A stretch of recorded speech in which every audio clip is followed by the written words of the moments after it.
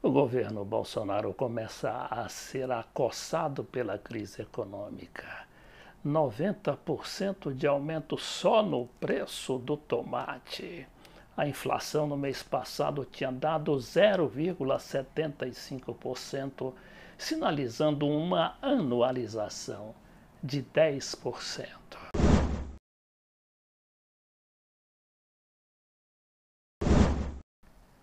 Então não dá mais para ficar aí brincando de governo ou permanecer no palanque eleitoral.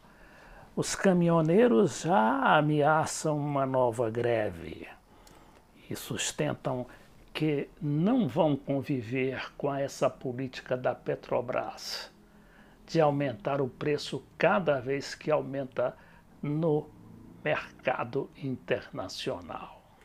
E no mercado internacional, claro, os combustíveis só tendem a aumentar devido à atenção, sobretudo marcada pela determinação dos Estados Unidos de imporem aquela política trampista que significa fechar todas as opções em relação à China, à Rússia e ameaçar com sanções violentas não apenas a Venezuela, mas também o Irã, outro grande produtor de petróleo. E tudo isso faz também aumentar o preço do dólar, que já está a R$ 3,90 centavos, R$ 3,90 centavos. Bom, e se o Bolsonaro quiser continuar com essa política neoliberal daquele pessoal de Chicago, a gente se lembra que o ministro da Economia, Paulo Guedes, é um Chicago boy.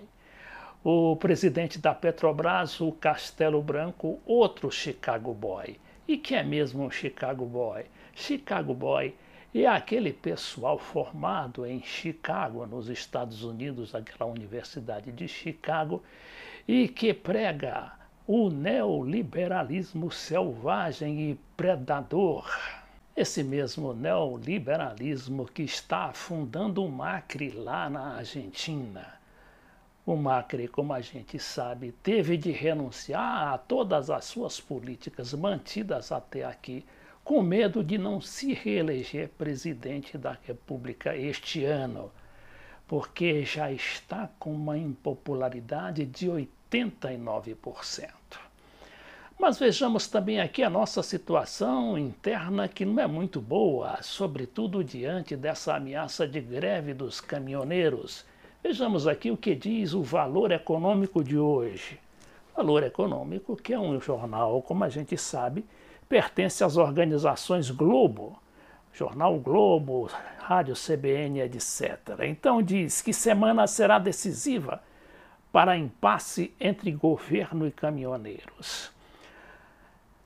E dizendo que com a paralisação de maio de 2018, que completa, vai completar um ano, e após o reajuste feito pela Petrobras no preço médio do diesel nas refinarias de 4,84%, válido desde quinta-feira, algumas lideranças elevaram o tom em poucos dias, queixando-se de até hoje não terem sido ouvidas pelo Planalto. Aí o caminhoneiro Vanderlei Alves, o Dedeco de Curitiba, uma das lideranças da classe, disse neste domingo que só há duas saídas para evitar uma greve geral dos caminhoneiros. Ou o governo faz valer o piso mínimo do frete em todo o país no prazo máximo de três dias após essa reunião, ou reduz em torno de 0,50 a 0,60 centavos o preço do diesel até que o piso tal do piso mínimo do frete comece a valer.